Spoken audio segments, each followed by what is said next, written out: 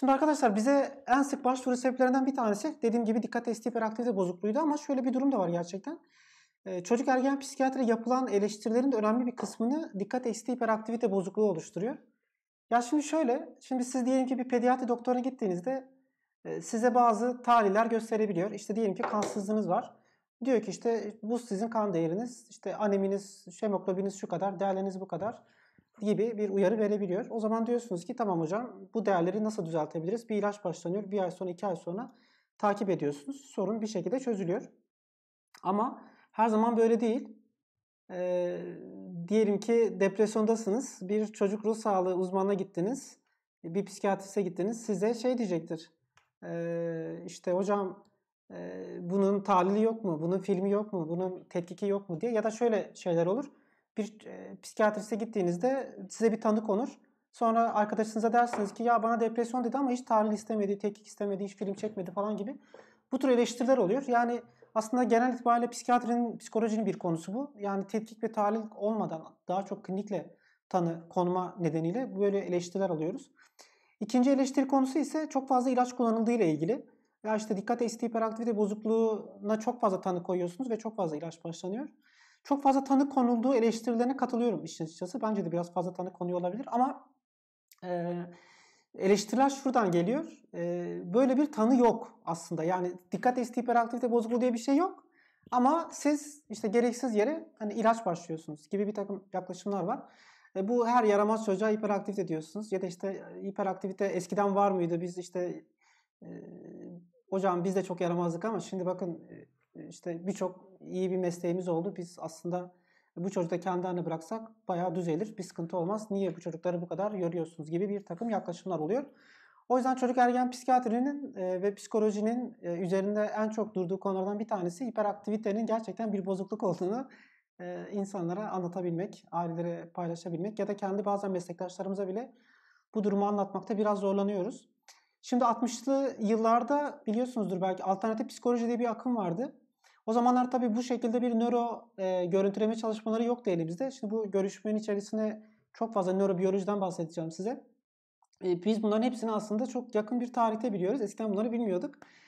E, o zaman da şöyle söylemişlerdi. İşte ya e, psikoz için söyleniyordu bu. İşte şizofreni de aslında varoluşsal bir kriz. E, işte kapitalist sistemin getirmiş olduğu ya da diğer sistemlerin insanlar üzerindeki varoluş krizi nedeniyle insanlar psikoza giriyorlar ve siz de bunları depo hastanelerine yatırıyorsunuz. İşte uzun yıllar işkence ediyorsunuz gibi bir yaklaşım vardı. Aslında haklı oldukları bir takım taraflar vardı. Çünkü gerçekten psikiyatri servisleri çok iyi değildi.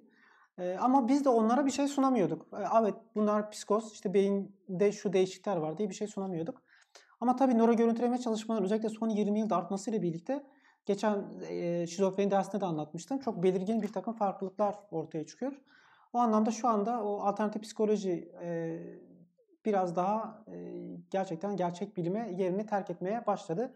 Biraz faydası oldu bize, hastalarımıza da ama e, artık bunları aşmamız gerekiyor. Dikkat eksikliği hiperaktivite bozukluğu da diğer hastalıklar gibi, diğer bozukluklar gibi gerçek tıbbi bir bozukluktur. Yani bunu şöyle düşünün.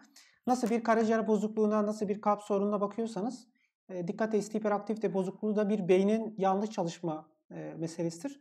Olaylara da böyle bakmanız gerekiyor. Yoksa öbür türlü kafanıza tam olarak şey yapamazsınız, tutamazsınız. Yani tüm düşüncelerimiz, duygularımız beynimizdeki nörotransmitterler dediğimiz maddelerle ilişkili. Sinaptik boşluktaki maddelerle ilişkili. Ve buradaki dengelenme ile ilgili problemlerde bizde bazı ruhsal sorunlara yol açıyor. Yani tüm ruhsal bozuklukları böyle bakmanız gerekir. Öbür türlü biraz e, kafanız karışır. Yani böyle bakın. E peki şimdi biz bunu yeni mi biliyoruz? Yani dikkat eksikliği hiperaktivite bozukluğu yeni bir bozukluk mu? Değil. Dikkat eksikliği hiperaktivite bozukluğunun 100 yıldan daha fazla bir tarihçesi var. Yani yeni moda bir hastalık değil. Dikkat eksikliği hiperaktivite bozukluğu. 1930 yılında diyorlar ki ya bu acaba dikkat eksikliği bir beyin hasarı mı? Aslında şu anda da o noktaya tekrar gelinmiş durumda. Yani 1930'lu yıllara geri döneceğiz gibi.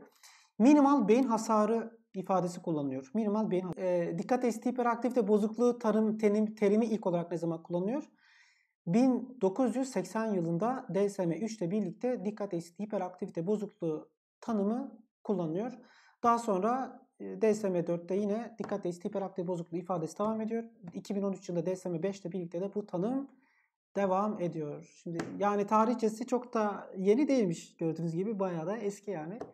E peki oranlar ne? Gerçekten bu kadar çok mu? E gerçekten bu kadar çok. Mesela okul çağı çocuklarında %3 ile %7'den bahsediliyor. Yine bizim de Türkiye epidemioloji çalışması vardı. Yine benzer oranlar. Dünya çapında oranlar %5 ile %10 arasında değişiyor. Ama şu var yetişkinlikte de oranlar devam ediyor. %50 oranda azalıyor. Yani her 100 çocuğun neredeyse yarısı erişkinlik döneminde toparlıyor ama yarısı da toparlamıyor. Yani ciddi bir risk bu. Bunlardan bahsedeceğim size. Meta analiz çalışmaları var. Yani meta analizi geçen hafta bahsetmiştim. Yani onlarca farklı çalışma birikiyor bir yerde. E, bu bundan da bir bir aralık çıkıyor. Bu da %5.29 gibi bir oran. Yani dünya çap geniş çaplı meta analiz çalışmaları. Yani dünyanın birçok ülkesinden alınan ortak çalışmaların oranları gibi. Mesela Güney Amerika'da %6, işte Amerika'nın genelinde yüzde Güney Amerika'da %11 özür dilerim. Avrupa'da ne kadardı? %4. Afrika'da %8. Yani ülkeden ülkeye, bölgeden bölgeye, bazen şehirden şehire oranlar düşüyor. Japonya'da, Finlandiya'da biraz daha düşük. Jamaika'da, Tahiti'de falan bunlarda biraz daha yüksek. Yine DB sıklığı biraz sanki Ukrayna'da biraz daha fazla gibi. %17'lerden falan bahsediliyor hani Ukrayna'da. Biraz daha oranlar yüksek. Niçin olduğunu ben de işin açıkçası bilmiyorum. Kendilerine göre bazı şeyleri var. Hani e, kuramları var ama neden belki de metodolojik çalışmalarla ilişkili bir sorun olabilir. Yine Ukrayna'dan sonra Hindistan'da oranlar gerçekten çok ilginç bir şekilde yüksek. %17'lere falan çıkıyor. İrlanda biraz daha düşük. %4 civarları. Amerika'da da e, bölgeden bölgeye değişiklikler var. Mesela Virginia'da %4. E, Carolina, New Carolina'ydı sanırım. %3. New York City'de biraz daha yüksek. %14, %15 gibi. Yani genel itibariyle çocuklarda %8, gençlerde %6, erişkinlerde de %4 gibi hani böyle oranlar 8, 6, 4 gibi düşünün. Çocuk 8, genç 6, erişkin 4. Hani böyle bir kafanıza bir şablon belki otur, e, hani oluşabilir. Şimdi bize tabii gelen eleştirilerden bir tanesi şu oluyor ya da belki sorulardan bir de şu oluyor. Hocam bu zaten düzeliyor. E, düzelen bir bozukluk için de biz niçin bu kadar ilaç başlıyoruz? E, zaten hani bu çocuk kendiliğinden toparlayacak. E, tedavi etmeyelim, kendi haline bırakalım falan gibi. Yani kendi haline bırakırsak ne olur? Bazen bu soru da gelir bize. Hocam biz tedavi başlamak iste, istemiyoruz. Hani ne olur? Dikkat eksikliği, hiperaktif bozukluğu tedavi edilmezse ne olur? Bununla ilgili bir YouTube videom var aslında. Orada çok daha detaylı hani bahsetmiştim ama burada da biraz anlatayım size. Tabii bunu anlatırken dikkat eksikliği hiperaktif bozukluğunun temel belirtilerinden de bahsetmek istiyorum. Yani temel belirtiler daha sonra yetişkinlik döneminde ne oluyor? Biraz böyle gidelim. Şimdi DSM dediğimiz tanı kriterlerinde DSM-5'te Dikkat eksikliği ve e, hiperaktivite ile ilgili 9 belirti var. 9-9 gibi düşünün. Bunların 6 tanesinin olmasını bekliyoruz. Yani 6 tanesini pozitif işaretlememiz gerekiyor. 17 yaş üstünde ise bu 5 kritere iniyor. Yani 5 kriterin olması yetiyor. Peki çocukluktaki kriterler neler? Bunların yetişkin dönemdeki karşılıkları ne? Yani ne oluyor? Mesela çocukluk döneminde organize olamıyor. Yani çocuk verilen bir işi organize etmekte zorlanıyor. Bu yetişkinlikte karşımıza nasıl çıkıyor? Kötü zaman yönetimi yani zamanı iyi yönetemiyor ya da yavaş ve verimsiz çalışıyor. Dinleyemiyor ya da dikkati sürdürmekte güçlük çekiyor. Bu çocukluk yaş döneminde. Peki yetişkinlikte ne oluyor? Şimdi sizin aranızda da muhtemelen vardır. Dikkat eksikliği, hiperaktivitesi olan kişiler. Bizi dinleyenlerimizin arasında da vardır. Toplantıları girmekte, okuma yapmakta, evrak, evrak işlerini sürdürmekte falan zorlanırlar. Yani bir toplantıyı sürdürmek, bir toplantıda uzun süre kalmak falan zor olur. Ama mesela ne olur? İşte ilkokul 1. sınıf öğrencisinde bu süperegoda yeterince gelişmediği için e, 4 lateral prefrontal korteks de çok iyi gelişmemiştir. Ne yapar? Böyle ayağa kalkar, sınıftan gezer falan ama siz tabii ki 30 yaşına geldiğinizde sınıfın içerisinde gezmezsiniz. Ne yaparsınız? İşte bir yere kalemle bir şey çizersiniz, hayallere dalarsınız, pencereden dışarı bakarsınız, arkadaşınızla konuşursunuz. Gerçi şu anda cep telefonları var. Sürekli cep telefonuna bakarsınız falan gibi. Yani ayakta gezmezsiniz. Süper egonuz sizi belki bastırır ya da beynin biraz daha olgunlaşır. Bastırılırsınız. Yani biraz daha ketleme dediğimiz e, durum biraz daha gelişmiştir ama sonuçta yine de verimsiz bir yapınız olur. Yani böyle bakmanız lazım. Yine çocukluk döneminde e, kıvranma, kıpırdanma dediğimiz bir durum var. İşte yerinde duramama. Hocam motor takılır gibi yerinde durmuyor, çok hareketli falan gibi. Yetişkinlikteki durumu ne? İşte, işte verimsizlik. Yani daha az verimli bir süreçte olabiliyor. Yerinde duramama, işte sırasını bekleyemiyor, aşırı koşuyor, tırmanıyor, hareket halinde. Hemen böyle lep demeden leblebi yatıştır ya, yapıştır ya bir çocuklar. Yani daha böyle sözünüz bitmeden tak tak tak tak hemen çocuk söyler. Başkasının sözünü keser, araya girer falan. Bunlar çocukluk belirtileri. E, yetişkinlikte ne oluyor? İşte başkalarının sözünü kesiyor, aşırı konuşuyor, başarısızlığı tolere edemiyor mesela bu çocuklar. Yani yetişkinler. Bunda da böyle bir durum var. Kendine çok aktif bir iş seçiyor. Ee, onda da yine başarısı oluyor. Zaten bahsedeceğim çok fazla iş değiştiriyorlar. Çok hızlı araç kullanıyor. Şimdi ben eskiden Sakarya'dayken İstanbul'a da çok sık gidip geliyordum.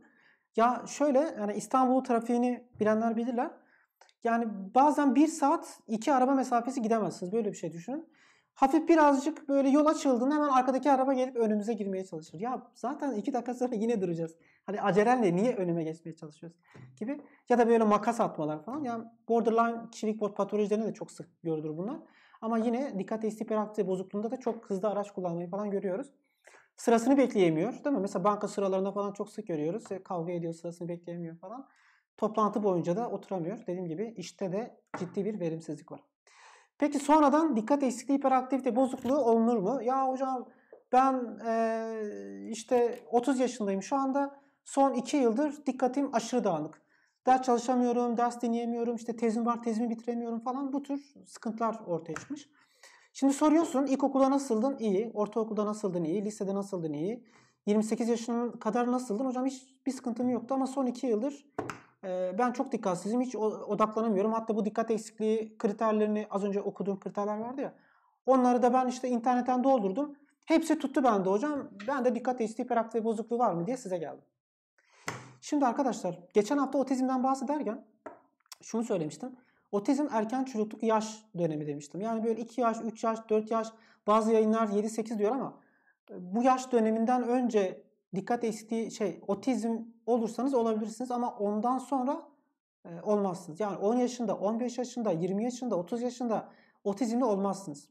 Ama depresyon olabilirsiniz. Ama e, işte bipolar olabilirsiniz. Ama şizofren olabilirsiniz. Peki dikkat eksikliği hiperaktivite bozukluğunda durum ne? Şimdi DSM 3'e kadar bu yaş 7 idi. Yani 7 yaşına kadar size dikkat eksikliği hiperaktivite bozukluğu tanısı konulabilirdi. 7 yaşından önce belirtileriniz varsa. Yani bu şu demek. Tanının konma yaşını kastetmiyorum. Bu bazen karışıyor. Biz bir insana 80 yaşında da dikkat eksikliği tanısı koyabiliriz. 90 yaşında da koyabiliriz ve ilk defa da koyabiliriz. Yani hocam biz 90 yaşında ilk defa birisine dikkat eksikliği hiperaktivite bozukluğu testi koyabilir miyiz? Evet koyabiliriz. Ama meselemiz şu. Bu belirtilerin DSM 4'teyken 7 idi dediğim gibi şu anda bu yaş 12'ye çıktı. Bu belirtilerin 12 yaşından önce olması gerekiyor. Yani ben şunu sorduğumda ilkokulda, ortaokulda nasılın diye sorduğumda yani işte en azından 5. 6. sınıfa kadar hocam benim dikkatim o zamanlarda da bozuktu demesi gerekiyor. Son 1 yıldır, son 2 yıldır, son 3 yıldır özellikle erişkin dönem için hiperaktivite ya da dikkat eksikliği ilgili belirtiler varsa bunun sebebi başka bir şeydir. Ne olabilir? İşte depresyon da olabilir, anksiyetesi olabilir, obsesif olabilir. Yani birçok patoloji bunu dikkat eksikliğini tetikler. Onlardan biriyle ilişkili olabilir ama bu şey demek değil. Hani dikkat eksikliği hiperaktivite bozukluğu teşhisi değil bu. Bazı ruhsal bozukluklar dikkat eksikliğine yol açar. Bazı ruhsal bozukluklar hiperaktivite yol açar. Ama zeminde yatan şey e, dikkat eksikliği hiperaktivite bozukluğu değildir. Yani bizim hiperaktivite testi koyabilmemiz için burası çok önemli. Belirtilerin 12 yaşından önce olması gerekiyor. Bir de her yaramaz çocuğa hiperaktivite diyor muyuz? E, hayır demiyoruz. Bir kere iki alanda sorun olması gerekiyor. Şimdi bazen şöyle olur. Hocam evde çok iyi bir çocuk ama okulda sıkıntılı. Sokakta çok iyi. Sadece bir alanda sorun var. Öyle değil. Biz iki alanda sorun istiyoruz. Ev, okul, işte akraba, diğer etkinliklerde falan dediğimiz alanlarda yani en az iki yerde sıkıntı hani olmasını bekliyoruz. Yine işlevsellik yani tüm ruhsal belirtiler için gerekli olan kural yine burada da önemli işlevi bozuyor mu? Yani biz asıl baktığımız şey işlevdir. Mesela işte elinizi yıkamak. Mesela günde birisi 5 kez elini yıkar, diğeri 10 kez yıkar ama 10 kez yıkayanın günlük hayatını çok etkilemiyorsa, işte günde bir saatten az vakit harcıyorsa biz buna bozukluk olarak bakmayız. E, bu şey gibi düşünün. Mesela doktora gidiyorsunuz, sırtım ağrıyor diyorsunuz. Eğer günlük işlerinizi bozmuyorsa, çok hafifse, çok sizin hayatınızı etkilemiyorsa doktor belki sadece egzersiz verir size. İlaç falan başlamaz. Ama işlevsellikte aşırı bir sorun yaşıyorsanız hocam benim belim ağrıyor ama ben işe gidemiyorum, işte ders çalışamıyorum, ev işi yapamıyorum, arkadaşlarıma sohbet edemiyorum, gece ağrıdan uyuyamıyorum falan derse o zaman ne oluyor? Demek ki işlevsellikte belirgin bir bozukluk var. E, bu anlamda da klinik e, bozulmuştur. Tedavi hani başlanır bu çocuklarda. Yine gerçek DHB kimdir? Gerçek DHB'de belirtiler kalıcı. Şimdi bu belirtilerin de 6 aydan uzun sürmesini bekliyoruz. Yani belirtiler öyle geldi 3 gün sürdü falan hemen böyle dikkat eksikliği olmaz. Bir 6 aylık bir bu sürecin devam etmesi gerekiyor. E, öfke patlamaları oluşabilir, kavgacı, tutturmacı olabilir. Özellikle yanında hiperaktivitesi, bileşik tip dediğimiz tipler var. Onlardan bahsedeceğim. Bazı çocuklarda saldırgan tutumlar olabiliyor. Yaralanmaya yönelik korkusucu hareketler, gürültücülük ve karşı gelme tutumları yine bu çocuklara eşlik ediyor. Şimdi bazen şey olur. Ya hocam biz bu çocuklara e, ilaç başlamazsak ne olur? Ya tedavi başlamayalım hocam. Hani ne olacak ki? Yani işte devam etsin falan gibi.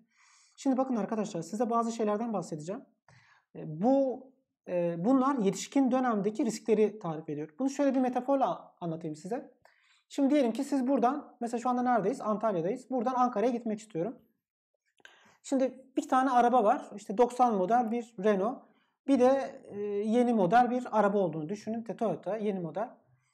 Sonra siz işte Renault ile yola çıkıyorsunuz. Araba gidiyor. Ama eski model. Şimdi havalarda sıcak. Nasıl olacaktır? İşte hava sıcak olduğu için bunalacaksınız. Arabanın harareti çıkabilir. Arabanın lastiği patlayabilir. Araba yolda bırakabilir sizi. Yani eski araba olduğu için daha fazla konforsuz bir yolculuk yaparsınız. Ankara'ya varabilir misiniz? Varabilirsiniz ama oldukça yorucu olur. Ama varmama ihtimaliniz de var. Neye göre var? Yeni arabaya göre yani yolda kalma ihtimaliniz daha yüksek. Şimdi bunu biraz daha ileriki yaş dönemleri için neler oluyor gibi düşünelim. Mesela akademik kısıtlıklar, kısıtlamalar. Yani şimdi bu şu demek değil. E, dikkat eksikliği hiperaktivite bozukluğu olan çocuklar e, işlerinde başarısız olacaklar. Hani bu çocuklar hiç e, hep böyle kötü olacak. E, liseyi okuyamayacaklar, üniversite okuyamayacaklar. Dersleri her zaman çok başarısız olacak falan gibi bir yaklaşımda değiliz arkadaşlar. Neden dolayı değiliz? Şimdi bu çocukların bir kısmı gerçekten işlerinde başarılı olabilirler. Yani doçent olabilir, profesör olabilir, öğretmen olabilir, doktor olabilir, mimar mühendis olabilir. Yani bu konuda bir şey yok. Yani hiperaktivitesi olan çocuk üniversite sınavını kazanamaz, akademik becerisi kötü olur demiyoruz. Ama olmama riski yüksek. Yani risk artıyor. Ne kadar risk artıyor? Ortalama 6 kat başarısızlık riski artıyor. Yani mesela ne demek bu? Liseyi e, terk etme oranları bunlara daha yüksek. Üniversite terk oranları daha yüksek. Üniversite kazanma oranları daha düşük. Hatta ekonomik gelirleri bile e, bu çocukların daha düşük olduğunu görüyoruz. Şimdi arkadaşlar bir diğer mesele ise ilişkiler. Şimdi e, mesela şimdi kendi çevremizde de vardır bunlar. Çok sık sevgili değiştirebilirler. Bunların bir kısmı gerçekten narsist ya da borderline kişilik patolojileri de olabilir.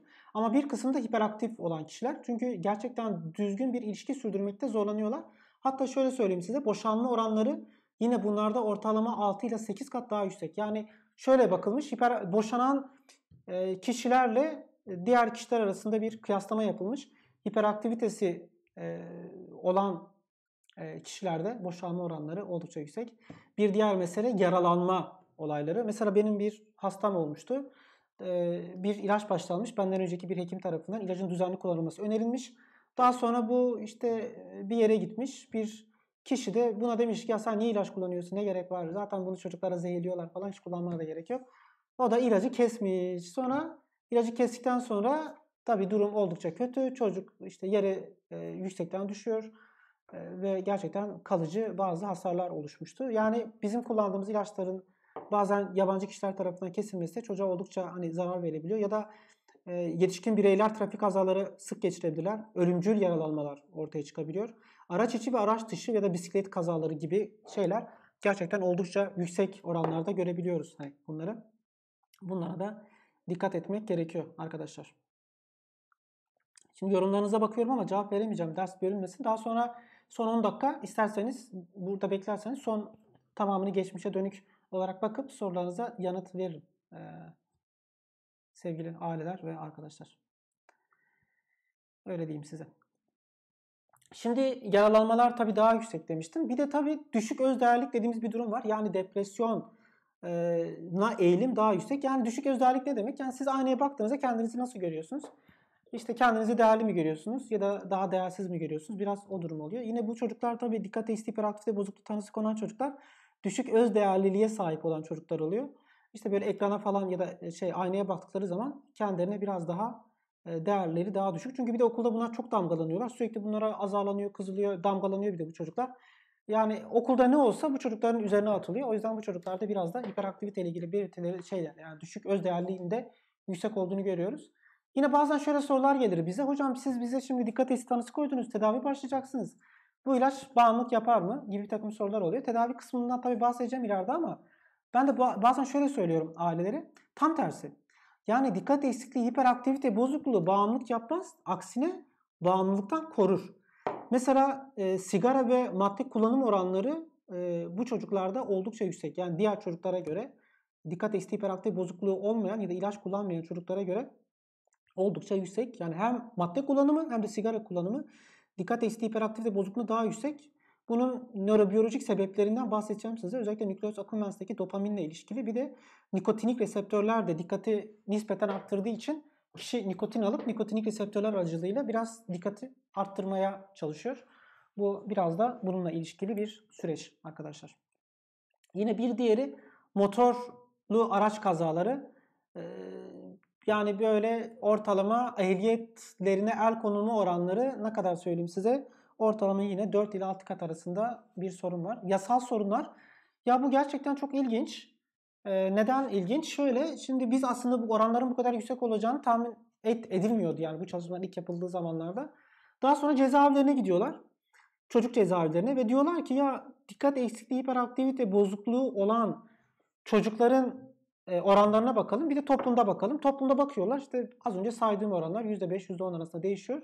Ama cezaevlerindeki çocukların, erişkinlerin daha doğrusu işte 12 yaşından sonraki çocukların oranlarına baktıkları zaman %35 ile %65 arasında oranların değiştiğini görüyoruz. %35 ile %65. Yani toplumda %5, %10 arasında olan hiperaktivite cezaevlerinde %65'e kadar çıkabiliyor. Demek ki dikkat eksikliği hiperaktivite bozukluğu olan çocukların suça sürüklenme. Bu arada bu önemli bir terim arkadaşlar. Biz çocuklar açısından suç işleme e, terimini kullanmıyoruz. Tanımını kullanmıyoruz. Suça sürüklenme böyle düşünün. Mesleki ve iş hayatıyla ilişkili durumlar açısından da şöyle söyleyebilirim size. Meslek sahibi olabilirler ama şöyle bir durum oluyor. Aylık kazandıkları ekonomik gelir daha az oluyor. Hepsi için değil tabii ki yani risk anlamında söylüyorum. Mesela birisi hiperaktivitesi vardır ama aşırı zengin olur yani onu kastetmiyorum. Yani genel e, ortalama anlamda söylüyorum bunu. Yalnız şöyle bir durum var. E, daha fazla iş sahibi oluyorlar. Yani daha fazla işe giriyorlar. Şimdi bu başta böyle söyleyince pozitif gibi algılanıyor ama aslında öyle değil. Neden daha fazla iş sahibi oluyorlar? Çünkü daha fazla işten atılıyorlar. Yani işlerini sürdüremedikleri için. E, o yüzden onları daha fazla böyle işle ilgili sorunlar bekliyor arkadaşlar. Daha büyük sorunlarla karşılaşıyorlar yani bu kişiler. Şimdi bir de dikkat eksikliği hiperaktivite bozukluğunda bize diğer gelen şey ise şu oluyor. Mesela aslında tanımla ilgili bir sorun var bence. Dikkat eksikliği hiperaktivite bozukluğu tanımı çok doğru mu emin değilim. Ee, şimdi DHB tanısını koyuyoruz. Yani dikkat eksikliği hiperaktivite bozukluğu koyduk. İşte reçetede yazdı. Diyelim ki dikkat eksikliği hiperaktivite bozukluğu. Şimdi aile şunu söyleyebiliyor. Ya hocam diyor dikkat eksikliği hiperaktivite bozukluğu dediniz ama bizim çocukta hiperaktivite yok. Ya da mesela okuldaki psikolojik danışman ya da okul Daki öğretmen şunu söyleyebilir. Hocam bu çocuk hiç hareketli değil. E, çok sakin bir çocuk. Niye buna hiperaktif dediniz ki? Gibi. Şimdi arkadaşlar dikkat eksikliği hiperaktivite bozukluğu mutlaka hiperaktif olacağı anlamına gelmiyor. Yani 3 tipi var bunların. Bazı çocuklar özellikle %20 oranında dikkat eksikliği ön planda giden tiptir ve kız çocuklarında bu oran daha yüksektir. Yani bu şu demek. Hiperaktivite yok. Bu çocukta hiçbir hiperaktivite belirtisi yok. Zaten o yüzden de biraz geç tanı alıyor. Sadece dikkat eksikliği var. O oran %20 ama büyük oranda e, bileşik tip dediğimiz tip devreye giriyor. Bu çocuklarda böyle yetişkin yetişkin hayatta ise %60'lara kadar oranlar değişiyor. Yani %50 %60 oranında dikkat eksikliği ön planda giden tip e, görüyoruz. %40 oranlarında da böyle onlarda da hareketli şeyler görüyoruz. Peki ne oluyor? Hani zaman içerisinde ya hocam zamanla hiperaktivite ne olacak? Düzelecek mi? Yoksa hiperaktivite e, belirtileri e, bozul, bozulacak mı yani hiperaktivite? Şimdi arkadaşlar şimdi süreye göre gitmek gerekiyor. Yani zaman içerisinde ne olacak bunlar? Şunu söyleyebilirim size. E, iki belirti var. Bunlardan bir tanesi dikkat eksikliği. Dikkat eksikliği belirtileri zaman içerisinde düzelmiyor arkadaşlar. Yani siz 10 yaşında da olsanız, 50 yaşında da olsanız dikkat eksikliği belirtileri büyük oranda devam ediyor. Ama hiperaktivite ve impulsivite dediğimiz, yani hiperaktivite zaten anladınız. İmpulsivite de böyle dürtüsellik, dürtüsel belirtiler. Bu belirtilerin zaman içerisinde azaldığını görüyoruz. Bunun azalmanın sebepleri ise bahsettiğim bu prefrontal kortekste derslerde bahsettiğim prefrontal korteksin olgunlaşması ile ilgili ventromedial prefrontal korteks, orbitofrontal korteks, dorsolateral prefrontal korteks, anterior e, singulat korteks. Bunlar zaman içerisinde daha olgunlaştığı için hiperaktivite belirtilerinde daha azaldığını görebiliyoruz. Yine işte bu prefrontal korteks daha çok hangi beyin şeyle psikodinamide neyle ilişkiliydi? Ego ile ilişkiliydi. Yani zaman zaman içerisinde egonuz daha da kuvvetleniyor. Bu durumda da hiperaktivite belirtileriniz biraz hani azalıyor. Yani hem bu işin nörobiyolojik kısmı hem de psikodinamik kısmı bu durumu açıklayabilir. Bir diğeri ise dikkat eksikliği. Bahsettiğim gibi o maalesef sürekli devam ediyor arkadaşlar. Tanıyı ne zaman koyuyoruz? Bu da aileler tarafından bize çok sık gelen bir soru. Mesela 2 yaşında çocuk getiriliyor. Hocam bu çocuk çok hareketli. Evet olabilir. Biz bu durumda risk belirleriz. Düzenli takip ederiz. Aile psikoeğitim veririz. Ama hiperaktivite teşhisi koymayız arkadaşlar. Yani genel itibariyle ilkokul dönemini ya da böyle 5'li 6. yaşlar gibi düşünün. Genelde 6 yaş civarı beklenir. 3 aşağı 5 yukarı e, okul dönemi hani beklenir. E, ama ilaç tedavileri ne zaman başlanır o ayrı bir konu. Bazen çok daha küçük yaş grubunda da ilaç tedavisi başlayabiliyoruz. E, belirtiler aşırı şiddetliyse arkadaşlar. Oranlardan bahsetmiştim. İşte %8, %3, işte mesela Bursa'da %8'di, Sivas'ta %3'tü, yani pardon %8'di falan. Böyle oranlar falan var. Ama tabii bu oranların yanında bir de şey var. Kız ve erkek oranları. 3 ile 5 gibi düşünün. Yani erkeklerde 3 kat ya da 5 kat arası biraz daha fazla oluyor. Ama şöyle bir durum var. Sanki kız çocuklarını bize daha geç getiriyorlar. O da neden oluyor? İşte hiperaktivite belirtileri kızlarda biraz daha az olduğu için böyle biraz daha geç getiriyorlar. Ama erkek çocuk biraz daha hazır. Daha erken getiriyorlar bize. Yani kızlarda biraz daha dikkatsizlik ve bilişsel sorunlar ön plandayken erkeklerde biraz daha böyle atak, saldırgan hani davranış problemlerinin biraz daha sık olduğunu görebiliyoruz. Neler oluyordu işte? Alkol, madde kullanım riski daha fazla, okul başarısı daha fazla, dikkat sorunları daha fazla, aşırı atak, hiperaktivite, arkadaş ilişkilerinde sorunlar var, uyumsuz davranışlar, işte araba kazaları, zarar verici davranışlar yani tüm bunlar biraz daha sık oluyor. İşte ilişkinlerde de hepsinden bahsettim e, büyük oranda. Mesela e, ev, iş ve eş değiştirme. Yani gerçekten çok ilginç. Çok fazla partner değiştirme, çok fazla iş değiştirme, çok fazla şehir değiştirme, trafikalarına uymama falan oranlarının gerçekten çok yüksek olduğunu görüyoruz. Peki mesela şöyle söyleyeyim size. Ee, hani aileler bize ne söylüyorlar? Yani gelirken hangi cümleler bize hiperaktiviteyi çağrıştırıyor? Ee, mesela örnek vereyim. E, ele avuca sığmaz. Hocam bu çocuk ele avuca sığmıyor. Çok hareketli. Onu zapt etmek imkansız. Düz duvara tırmanıyor. İşte misafirlikte ev sahibi neredeyse kalkın gidin diyecek. İşte çok unutkan, çok sakar. 10 dakikalık işi 5 saatte yapıyor Sanki aklı başka yerde aşırı dalgın. İşte ne diyor mesela hocam derste oturtana kadar işte göbeğimiz çatlıyor. İşte onun kaybettiği eşyalarla üç çocuk okur.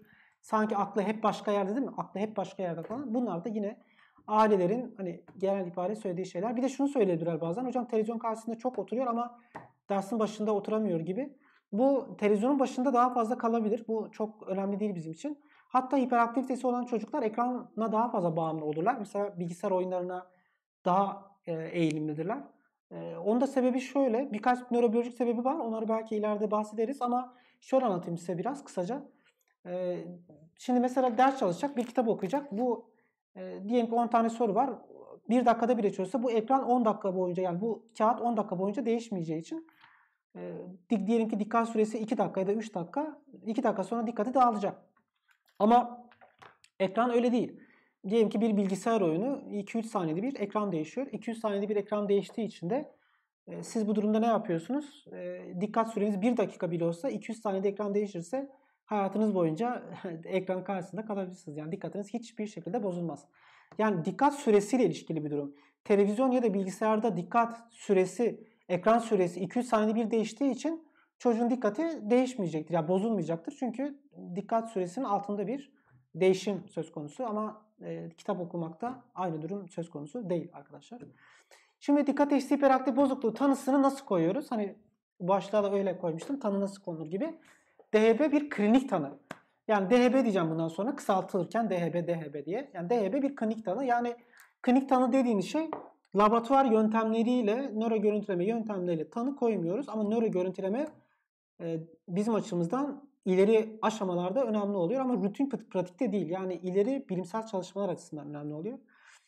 E, klinisyenin tanı araçları neler? Klinik gözlem, aile ve çocuk görüşmeleri. Yani biz hem aileyle görüşüyoruz hem de çocukla görüşüyoruz. Çocukla görüşme yapılmadan ya da aileyle görüşme yapılmadan asla şey yapmayın. Hani tanı koymayın. Bazen bunlar olur. Aile yazar. Hocam bizim çocukta şu şu şu şunlar var. Şunu söyleyebilirsiniz. Ya sizin çocuğunuza hiperaktivite açısından bir risk var gibi ama çocuğu görmeden kesin bir şey söyleyemem diyebilirsiniz. ama kesinlikle aa senin çocukta kesin hiperaktivite var. Al bu ilacı bizim diğer çocuğa vermişlerdi. Bu ilacı kullan falan gibi bir yaklaşıma kesinlikle girmeyin. Yine e, nörolojik incelemeler ya da fizik e, muayene falan gerekebilir. İşte bazen dediğim büyük oranda da öğretmen görüşü bizim açımızdan önemli oluyor. Hatta şu anda bulabilirsem bende vardı bunlar. Öğretmen muayeneleri. Şöyle bende bazı evraklar var. Buradan çıkartıyorum. E, bulamadım. Şu anda arıyorum ama.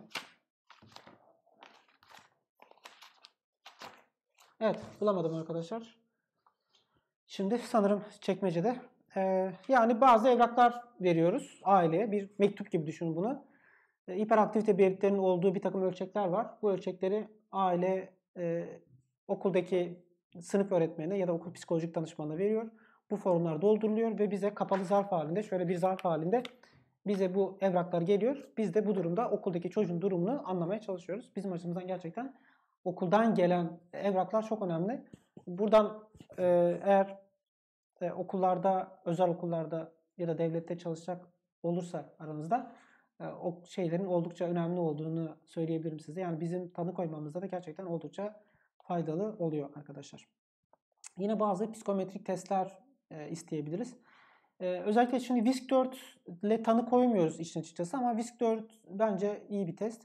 E, o anlamda hani bazen WISC-4 te dikkat hiperaktif bozukluğu var mı yok mu e, bir yardımcı tanı aracı olarak kullanılabilir.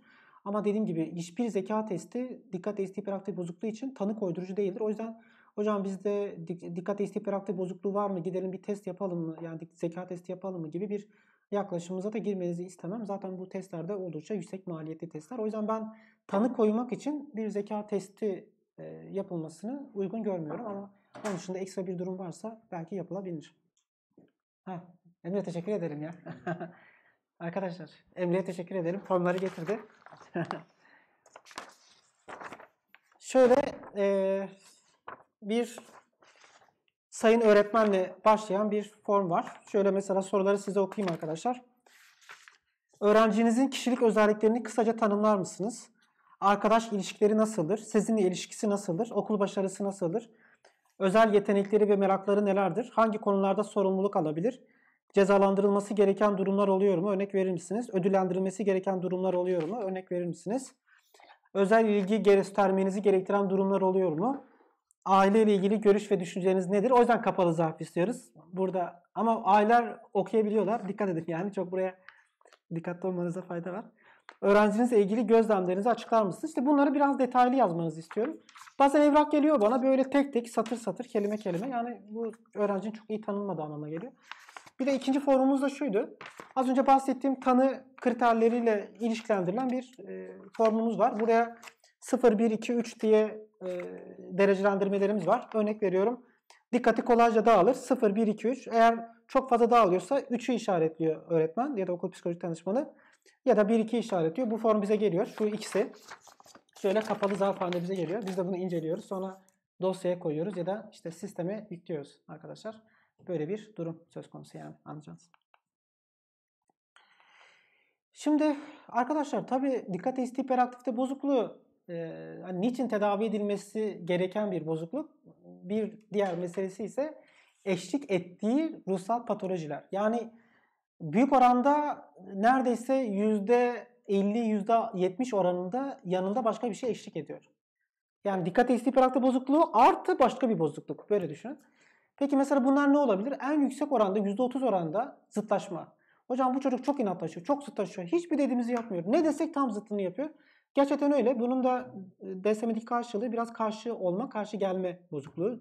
Ailelerin hocam çok inatlaşıyor, çok zıtlaşıyor dediği durum bu %30 oranlarında.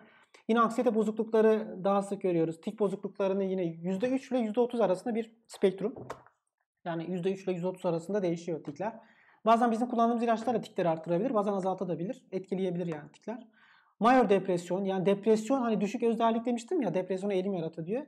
Bunlarda yine depresyona eğilim daha fazla. Bipolar bozukluk riski daha yüksek ya da bipolar olanlarda da yine dikkat eksikliği hiperaktif bozukluğu daha yüksek oluyor. Bazen karıştırılabiliyor. E, bipolar mı bu dikkat eksikliği hiperaktivite bozukluğu mu? Gerçekten özellikle çocukluk yaş dönemlerinde o öfke patlamaları, e, grandiyöz düşünceler biraz daha fazla olduğu için o yaş grubunda özellikle ergenlerde. O yüzden acaba bu hiperaktivitenin e, patlaması mı, duygu durumu kontrol edememesi mi yoksa bipolar mı falan gerçekten biraz zor oluyor. Enkoprezis, enürezis, e, disleksi, gelişimsel koordinasyon bozukluğu ve iletişim bozuklukları da yine dikkat eksikliği hiperaktivite bozukluğunda oldukça yüksek oranda görüyoruz. Çok silik nörolojik belirtiler var. Hani e, çok böyle anlamlı bir şey çıkmıyor işin açıkçası. Öğrenme bozukluklarını başka bir derste e, anlatacağım size. E, disseksi bu oran bu çocuklarda disseksi oranları yüksek ya da disseksisi olan çocuklarda da dikkat eksikliği hiperaktivite bozukluğunun yüksek olduğunu görüyoruz arkadaşlar. Şimdi size şu ana kadar ne anlattım? İşte hiperaktivitenin genel itibariyle belirtilerini ve e, epidemiyolojisini anlattım. Yani oranlar kaç? Bu çocuklar ileride ne olur? E, ve hangi belirtileri vardır? Şimdi bundan sonraki süreç biraz sizin için zorlayıcı olacak. O da şundan dolayı çok fazla nörobiyolojik terimle karşılaşırsınız. Yani nörobiyolojik terimlerle anlatacağım size bunları.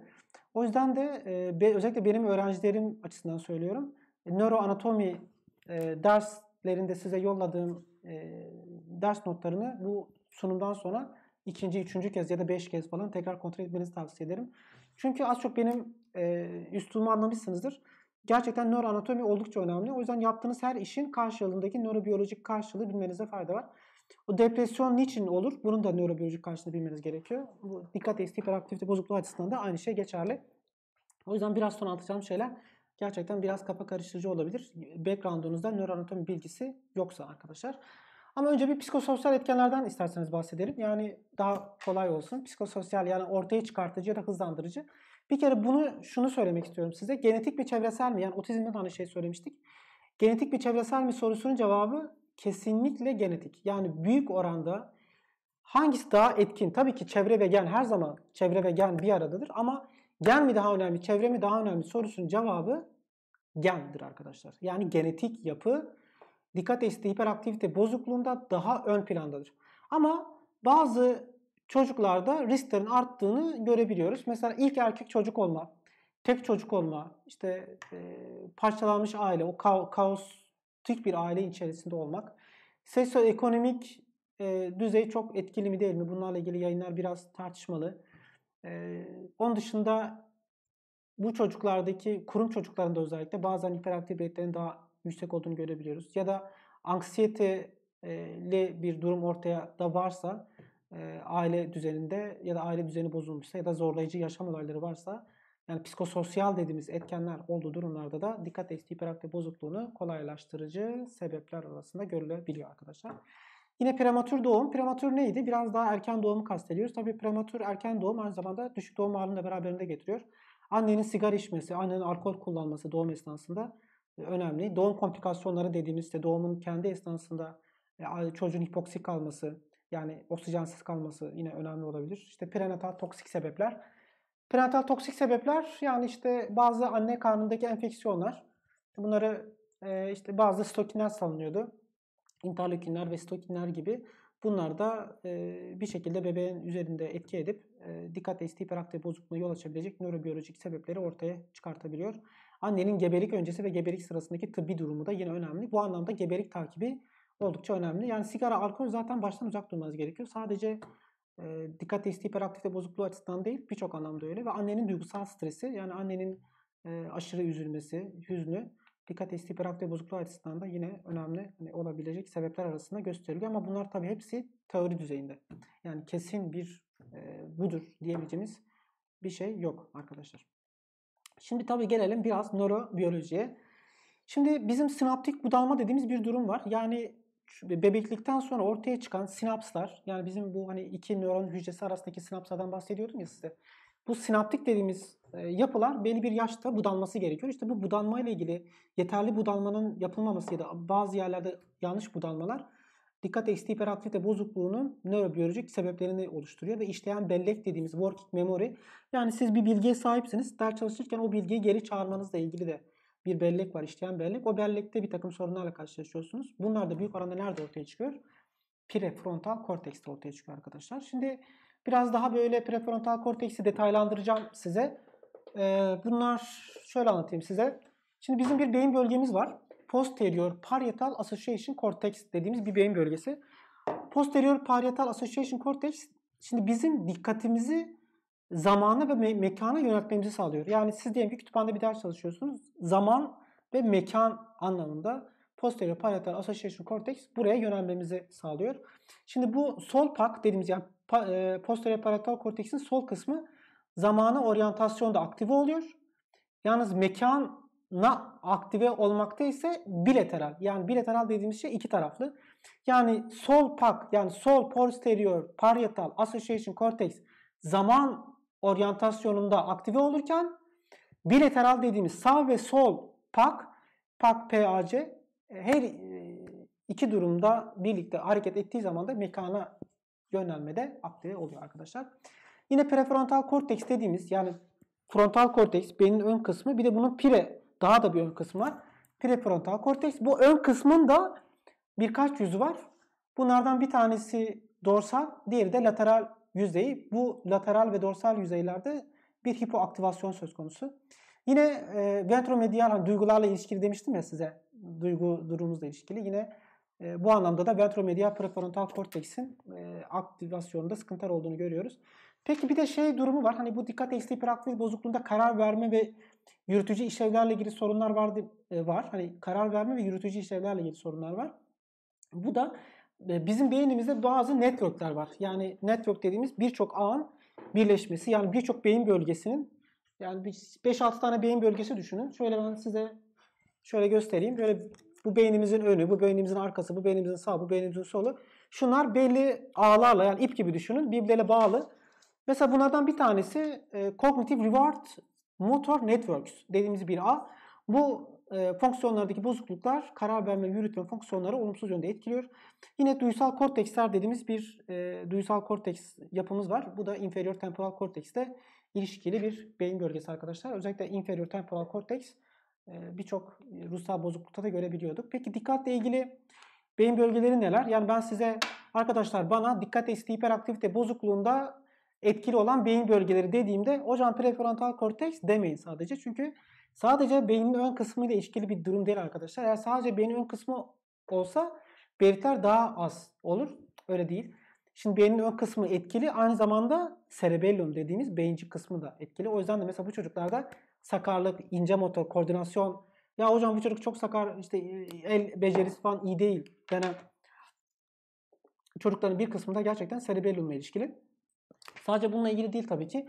Parietal korteks yani aslında bilinç dışını da oluşturan yapı büyük oranda parietal korteks, insula dediğimiz yapılar aslında bence. Parietal korteks ve insula e, yapıları dediğim gibi bilinç dışı önemli ama dikkat hiperaktif bozukluğunda biraz parietal korteks üzerinde duruluyor. Yine beynin ön kısmında ise dorsolateral prefrontal korteks, anterior cingulate korteks ve ventrolateral prefrontal korteks önemli. Yine striatal yapılar özellikle kaudat ve putamen. Yani kaudat ve putamen de striatal yapıları oluşturan yapılar. Bu anlamda da bunların önemli olduğunu görüyoruz arkadaşlar. Yani dikkat eksikliği hiperaktif bozukluğu sadece beynin ön kısmındaki prefrontal korteks değil arkadaşlar. Ne dedim? Dorsolateral prefrontal korteks, ventrolateral prefrontal korteks, parietal korteks, e, terimler biraz yabancı gelebilir anlıyorum. O yüzden hani bir bu konuda biraz araştırma yapmanız gerekir. Yani hiç bilmiyorsanız bunları böyle durdurarak tekrar okuyun arkadaşlar. E, striatum, caudat ve putamen ve cerebellum dediğimiz beyin bölgeleri dikkat ve hiperaktivite bozukluğunun yapılarıdır. Şimdi bizim subkortikal dediğimiz yapılar var. Yani korteks dediğimiz beynin bu en taba ve kıvrımlı tabakalarının bir altında subkortikal dediğimiz yapılar var. Yani iç beyin, beynimizin iç kısmı gibi düşünün. Bunlar hangi yapılarıydı? Mesela putamen. Özellikle şeyde de çok önemli. Parkinson'da da putamen önemli oluyor. İşte globus pallidus, globus pallidus yani e, bu konuda araştırma yapmak isteyenler için biraz daha böyle eceleyerek söylüyorum. Nucleus caudatus, nucleus caudatus, subthalamus ve substantia nigra. Yine Parkinson'da bunlar önemli. substantia nigra. İşte bu striatal yapılarda, striatum dediğimiz yapılarda dopaminin azalması ya da artması bazı bozukluklara yol açıyor. Dopamin azalması e, hipoaktiviteye yol açıyor. Yani aktivitenin azalmasına ya daha az hareket etmeye ve e, over focused yani bir konuya aşırı odaklanma ya ve motivasyon azalmasına yol açıyor. Yine striatumda dopamin artabilir. Yani bu subkortikal dediğimiz az önce saydığım işte putamen, globus pallidus, nucleus caudatus, subthalamus, substantia nigra gibi yapılarındaki dopaminin artışı ise hiperaktiviteye ve stereotipik hareketlere. Hani otizmde de vardı stereotipik hareketler. E, onlara yol açıyor arkadaşlar.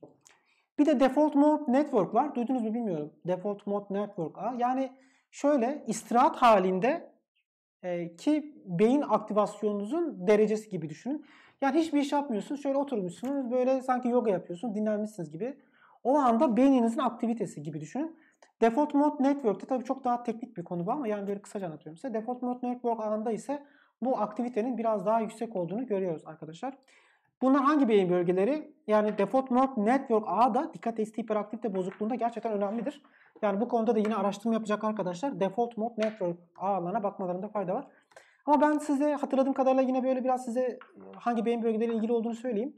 Parietal cortex, posterior cingulate cortex, medial prefrontal cortex, medial temporal lob, medial prefrontal cortex. Arkadaşlar default mode network ağını e, ilişkili durumlardır. Ben size hani derslerde hep şeyden bahsediyordum. KSTK yola. E, bilmeyen arkadaşlar açısından da yani benim dersime girmeyen şu anda izleyen birçok insan da var. Onlar için de söylüyorum. İnternete girip bak bakın arkadaşlar.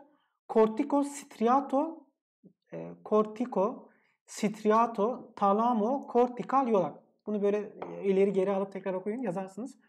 Şimdi buradaki birçok reseptör var bu yolağın içerisinde. Bunlardan bir tanesi de D1 ve D2 reseptörleri. Zaten dikkat esti hiperaktif bozukluğunda da D1 reseptörün oldukça önemli olduğunu göreceğiz. D1 reseptörü aracılığıyla dilek yol aktive olurken D2 reseptörü aracılığı ile indirek yol inhibe olur. Özellikle obsesif kompulsif kişilik, e, obsesif kompulsif bozuklukta e, bu yolağın oldukça önemli olduğunu göreceğiz arkadaşlar. Yani talamusla ilişkili bir durum büyük oranda. Striatumda dopamin azalırsa hipoaktivite ve motivasyonda azalma. Yani hocam bu çocuğun motivasyonu hiç yok. Hiçbir şekilde derse motive olamıyor hocam dediğiniz zaman işte ne demek istiyoruz? Bu çocuk niye motivasyonu az?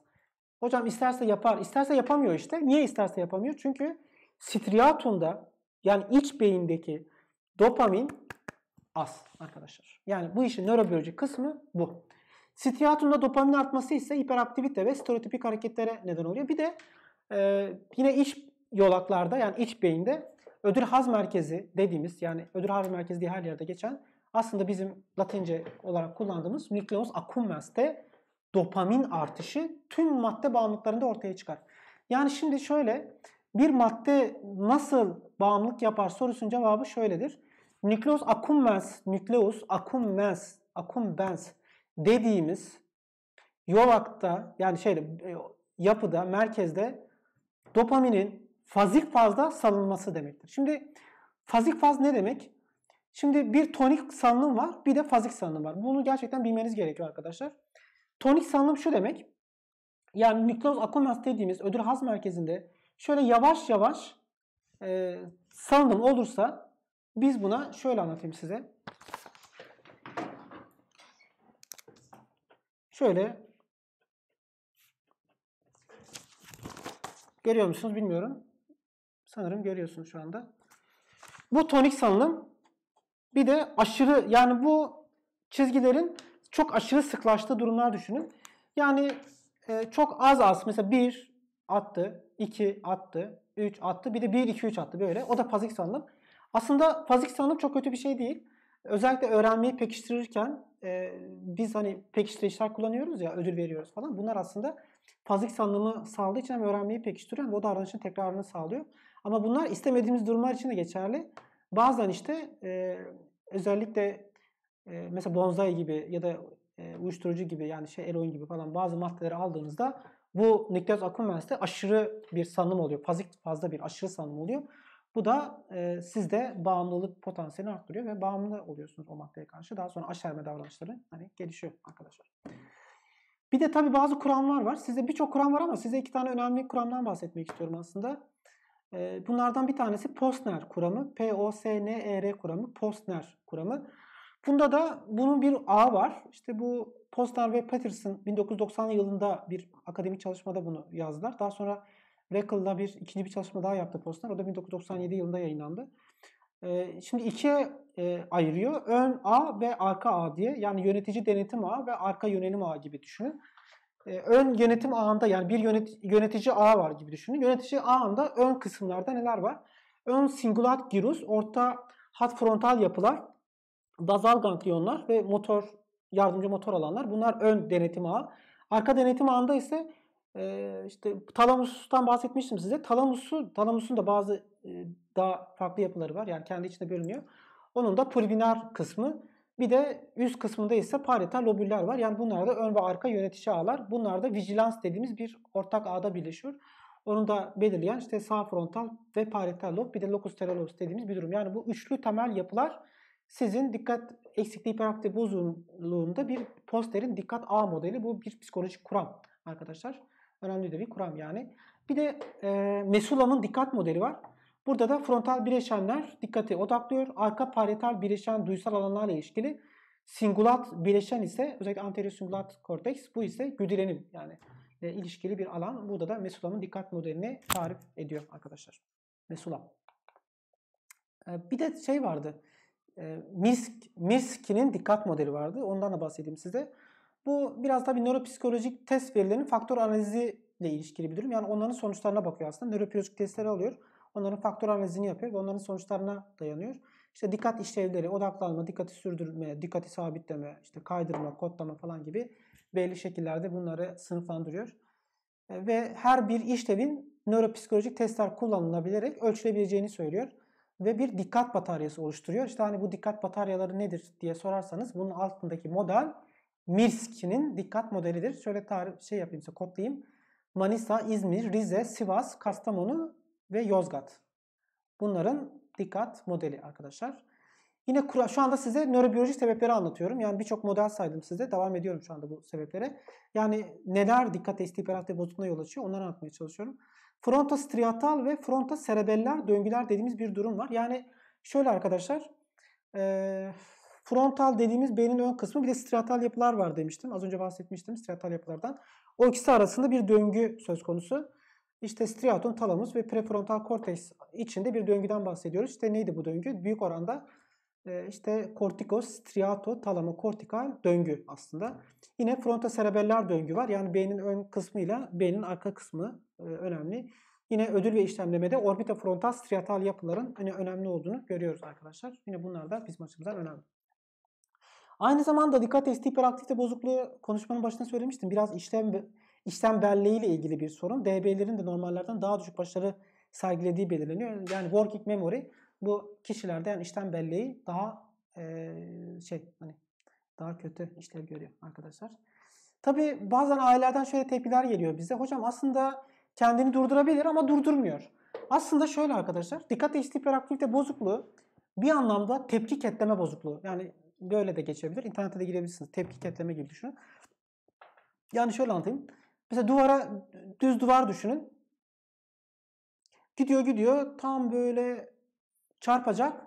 Çarpacağını da biliyor ama kendini durdurmuyor ve tak kafasını duvara vuruyor mesela böyle çocuk düşünün.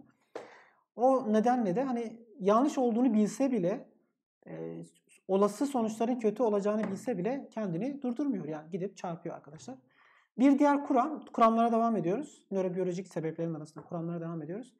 Burada da e, makine sağlam ama e, bazı bilişsel yeteneklerin kullanılmasıyla ilişkili sorun var. Yani temel bilgi işleme kapasitesinde sorun var. Yani mesela şöyle anlatayım size. Telefon düşünün. Telefon sağlam ama telefonun yazılımında sıkıntılar var. İşte format atmanız lazım ya da yeni yazılımlar eklemeniz lazım ya da işte korsan bir işte virüs var. O virüsün temizlenmesi lazım gibi düşün. Yani makine sağlam ama e, yazılımda sıkıntılar var. O yazılımların düzelmesi gerekiyor.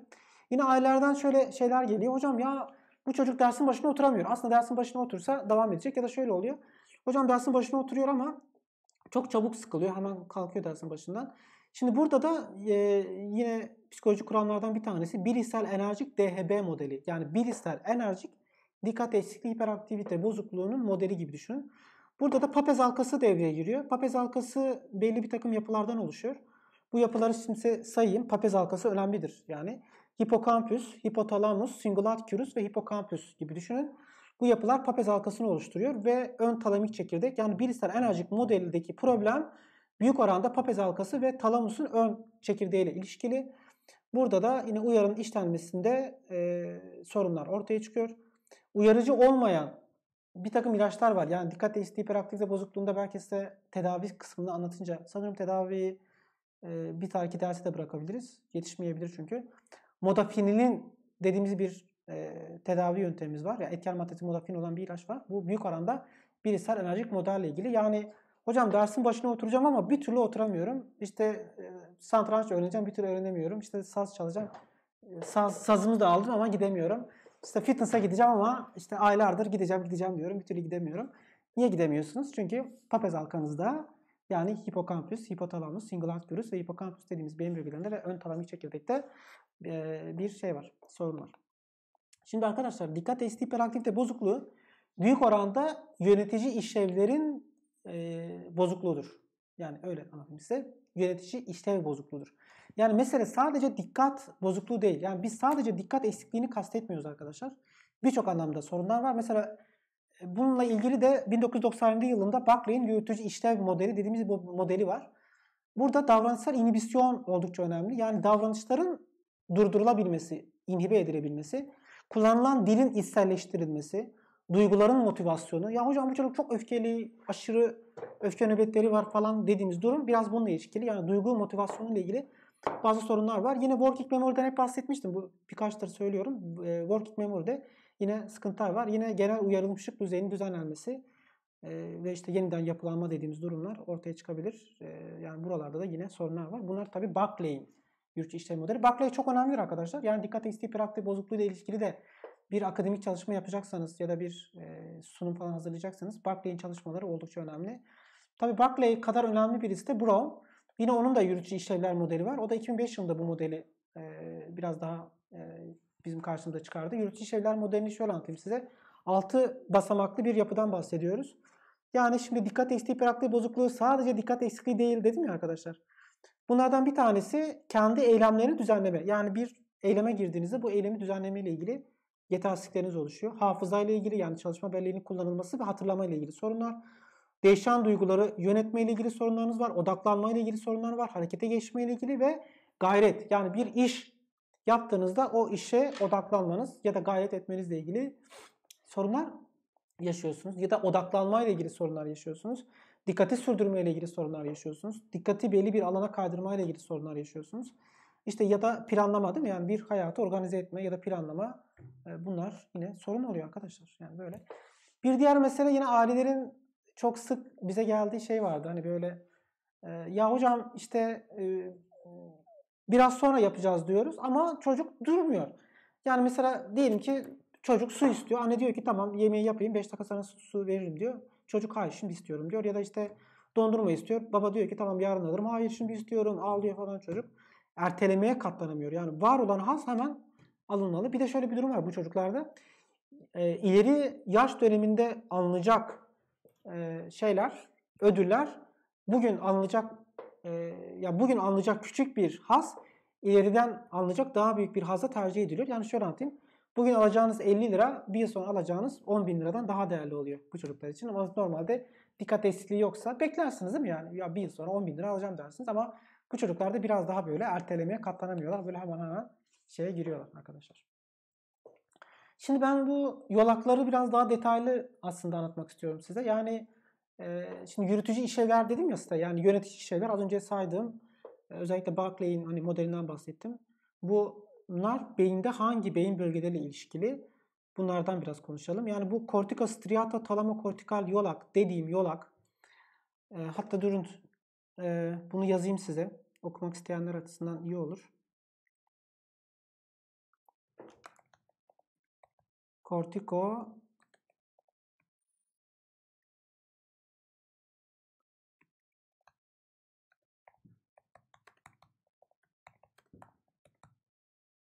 kortikostriato talamo kortikal yolak. Evet. Şimdi bunu yazdım arkadaşlar. Bunu artık inşallah araştırırsınız diye düşünüyorum arkadaşlar.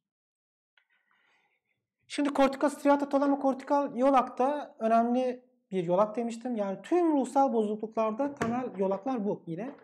Şimdi şöyle bir durum oluyor arkadaşlar. Yönetici işlevler yani az önce saydığım yönetici işlevlerde e, bu arada saat 16 ha, bayağı da zaman geçmiş. Bunları böyle hızlıca anlatayım birkaç tane. Daha sonra isterseniz diğer derse bırakırız. Çünkü ikinci bir ders yapmam gerekecek. E, dorsolateral prefrontal korteks, striatum, talamus ve dorsolateral prefrontal korteks. Yani şöyle arkadaşlar. Bir uyarı düşünün. Beynin ön kısmında dorsolateral prefrontal korteks dediğimiz beyin bölgesinde bir uyarı var. Bu yapı nereye gidiyor? Striatuma gidiyor. İşte az önce bahsettiğim striatal yapılara. Oradan bu uyarı talamusa gidiyor. Talamustan ise tekrar ilk döndüğü yere geliyor. Dorsolateral prefrontal kortekse geliyor. İşte direkt yol, direkt ve indirekt yolları var bu yola. Direkt yol düşünceleri ve duyguları destekler. İndirekt yol ise düşünceleri ve duyguları durdurur arkadaşlar. Şimdi aynı zamanda dikkat eksikliği hiperaktivite bozukluğunda bir dopamin e, geri alımıyla ilgili de bir sorun yaşıyoruz arkadaşlar. Yine frontoserebeller döngüler dediğimiz bir e, sorun var. Yani bahsetmiştim. E, frontal beyin ön bölgesinden beyin arka bölgesine giden bir döngüden bahsediyoruz. Özellikle basit motor öğrenme e, burada yine önemli. Bazı MR çalışmaları var. E, bu MR çalışmalarında e, beynin arka kısmında yer alan beyincinin volümünde yani hacminde bazı azalmalar hani önemli olduğu söyleniyor. Motor aktivasyon regulation network'ten bahsedeceğim size. Sanırım bundan bahsetmedim. Motor Activity Regulation Network. Bu network şöyle arkadaşlar hani az önce söyledim ya böyle bazı networkler var. Bunların arasında bir takım bağlar var. Hani öyle anlatayım size. Bu bağlar mesela hangileri? Özellikle hiperaktivite ile ilgili. Ya hocam bu çocuk niye hareketli? Mesela hiperaktivitenin sebebi nedir hocam? Hiperaktivitenin sebebi şöyle. E, dorsolateral prefrontal korteks, dorsal, yavaş söyleyeyim bunları, tekrarlayıp yazarsınız. Dorsal anterior cingulate cortex, kaudat ve supplementary motor alan. Bunlar hiperaktivite ilişkili ağlar arkadaşlar. Yani tüm bu ağ yapısı. Yani bunlar kendi aralarında bir yapı oluşturuyorlar. Biz buna motor activity, activity regulation network diyoruz ve bunlar da hiperaktivite semptomlarıyla ilişkili arkadaşlar. Peki ilişkili olan kısım ne? O da dopamin ve noradrenaline ilişkili. Onlardan da bahsedeceğim size zaten biraz sonra. Peki dikkat, planlama, işleyen bellek ve problem çözme. Hocam şimdi bu çocuk dikkati bozuk. Bu çocuk planlayamıyor. Bu çocuk problem çözemiyor. Bu çocukta işleyen bellek yani bir olayın hatırlatılması ile ilgili durumlarda da sıkıntılar var. Bundaki problem neresi? Arkadaşlar bu da Attention Network Cold Executive Network dediğimiz bir ağ var. Peki bu ağın, şimdi terimler çok yabancı geliyor farkındayım arkadaşlar. O yüzden de böyle biraz daha dediğim gibi nöroanatomi dersini biraz daha notları okursunuz. Dorsolateral prefrontal cortex, dorsal anterior cingulate cortex, cerebellar vermis, talamus ve inferior parietal lobül dediğimiz beyin bölgeleri arkadaşlar dikkat, planlama, problem çözme ve working memory ile ilişkili yapılarımızı oluşturuyor. Yani bunlar yani böyle ya hayat böyle arkadaşlar. Yani kolay değil gerçekten. Ee, bu bilgilere de ihtiyacımız var. Belki bu kadar detaylı bilmeniz gerekmiyor. Bu detaylı olarak ezberlemeniz gerekmiyor.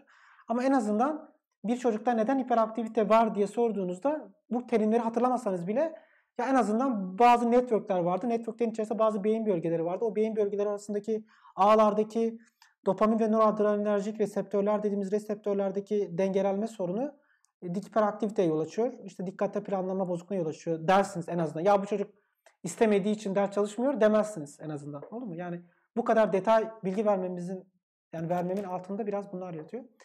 Yine dürtüsel davranışlar e, bu anlamda da yine hangi beyin bölgeleri önemli? Buna şey deniyor. Impulse Control Network dediğimiz beyin bölgesi Impulse Control Network diye geçiyor. Peki impulsiviteden sorumlu beyin bölgelerimiz hangisi? Onlar yine hani hep bahsedilmiyor mesela orbitofrontal korteks beynin duygularıyla ilişkili alanlar. Hakikaten önemli. Özellikle depresyonda ve bipolar bozuklukta da orbitofrontal korteksin çok önemli olduğunu görüyoruz. Peri e, genual anterior cingulate korteks önemli impuls kontrol ve zayıf inhibisyonla yol açıyor bu. E, nucleus accumbens ve cerebeller vermis. Ne oldu? Cerebeller vermis, peri e, genual ACC yani anterior cingulate korteks, orbitofrontal korteks ve nucleus accumbens. Bunlar da impulsivite yani dürtüsel davranışlar. Hocam bu çocuk hiç durmuyor sürekli bir şeyleri karıştırıyor. Çekmeceleri memşileri karıştırıyor. Niçin karıştırıyor? İşte bu yüzden karıştırıyor.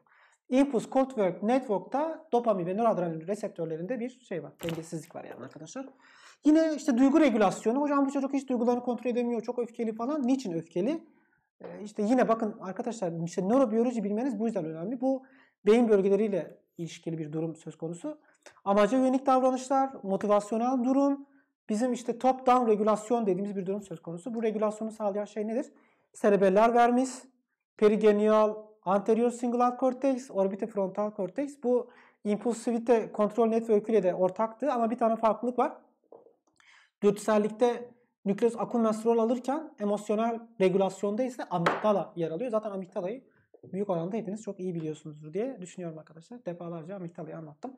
Bu anlamda da hani amigdala önemli. Şimdi tabii seçici dikkat ve dikkati sürdürmeye ile ilgili bir takım farklılıklar var. Seçici dikkat dorsal anterior singular cortex ile ilişkili. Yani beynin prefrontal korteksinin dorsal anterior singular korteksinde. Hiperaktivite var. Bu da e, prefrontal motor kortekste ilişkili arkadaşlar. Yani yine prefrontal motor korteksten putamene, oradan talamusa, oradan yine prefrontal kortekse uzanan bir yolak arkadaşlar. Bu böyle devam eden bir yolak. Öyle oluyor yani. Hani niçin hocam bu çocuk niye hareketli? Bu çocuk niye dikkatini seçici olarak bir yere veremiyor? Bunlarla ilişkili arkadaşlar. Yani hiperaktivite belirtileri arkadaşlar neresi? Prefrontal motor korteks, iç beyinde putamen. Putamenin de lateral striatum dediğimiz yapısı. Talamus, oradan da yine kortekse giden yapı. Yine dikkatin sürdürülmesiyle ilişkili ve problem çözmeyle ilgili de alanlar yine dorsolateral prefrontal kortekste önemli arkadaşlar. Impulsivite yani aşırı e, şeyler, e, dürtüsel davranışlar böyle sürekli bir şeyleri karıştırmak gibi düşünün falan. Birinin önüne geçme çabası falan gibi. Onlar da e, orbitofrontal kortekste ilişkiliydi arkadaşlar. Özellikle dürtüsellik ve kompulsif davranışlar. Orbitofrontal korteks o da kaudat dediğimiz bir yapı vardı beynin içerisinde kaudat. Oranın tabanı Talamus, talamustan da orbitofrontal kortekse giden bir yapı. Bu da impulsivite belirtileri arkadaşlar. Hiperaktivitede yine bahsetmiştim size hani bu e, dürtüsellikten bahsettim ya size orbitofrontal korteks. Hiperaktivite e, hiperaktiviteyi anlattım ya. Hiperaktivite belirtilerini. O da e, bu durumla ilişkili arkadaşlar.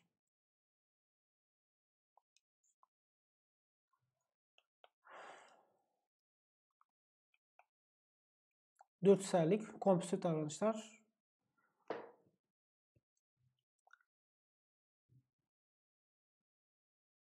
Ekran dondu mu arkadaşlar ya? Sesim geliyor mu arkadaşlar? Ses sorunu var mı arkadaşlar?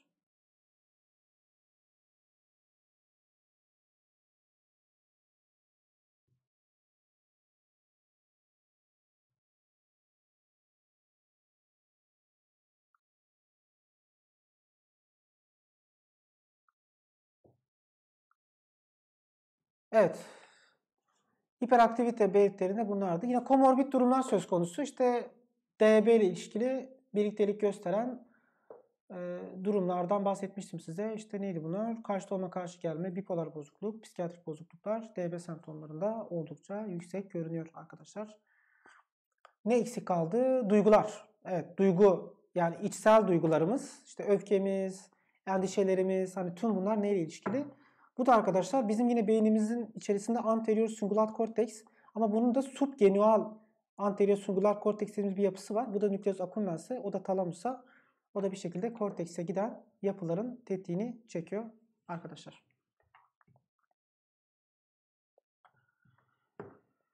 Evet arkadaşlar, biraz sanırım yoruldunuz sizler de. İsterseniz burada ara verelim. Dersin diğer kısımlarını daha sonra anlatacağım size arkadaşlar. Çünkü 1 saat 20 dakika oldu. Gerçekten uzun bir ders saati oldu. Ee, ikinci bir ders yapacağız önümüzdeki hafta.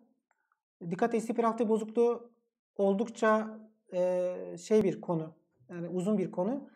E, ikinci konuda size neden bahsedeceğim? Özellikle bu nörotransmitterler arasında yer alan e, dikkat eksikliği, hiperaktivite bozukluğunu yani bütün bu beyin bölgelerinde ne oluyor? Tamam hocam beyin bölgeleri attınız ama buralarda ne oluyor? Biraz onlardan bahsedeceğim. Yani sinaptik aralıklara gireceğiz bu sefer. Yani iki hücrenin, iki beyin hücresi arasında ne oluyor? Biraz o konulara girelim istiyorum. E, tedaviye biraz gireceğiz. İlaçlar tek tek. nedir, konserta nedir, metilindat nedir, işte askolikler, niçin veriliyor mu, modiyadalar falan filan. Yani tüm bunları detaylı olarak anlatacağım size. Eğer isterseniz bir arada size dikkat ekstraktif bozukluğunda öğretmen tutumlarından da bahsedebilirim. Ee, ya da bunu bir dersin dışında ek bir ders olarak da yapabiliriz. Yani dersin içerisinde yer almaz ama ek bir gün onu da yapabiliriz. Dikkat ekstraktif bozukluğunda öğretmen gibi bir soru olabilir arkadaşlar. Ee, şimdi sorularınızı alayım arkadaşlar. Aşırı büyük oranda ilaç çözülüyor ama onun dışında sadece ilaçlarla girmek istemiyoruz. Ee, özellikle rehber terapiler, e, davranışsal yönler bunlar da önemli oluyor. Otizmde de aynı mekanizma devreye giriyor. Çünkü çocuklarda dikkat eksikliği karakteri bozukluğu oldukça yüksek. E, o yönde dikkat eksikliği hiperaktif yani şöyle anlatayım. Otizmde %80 dikkat eksikliği bozukluğu komünitesi yani birlikte hareket birlikte olma oranı çok daha. O yüzden otizm çocuk bir kısmı e, ekrana daha uzun süre bakabiliyorlar.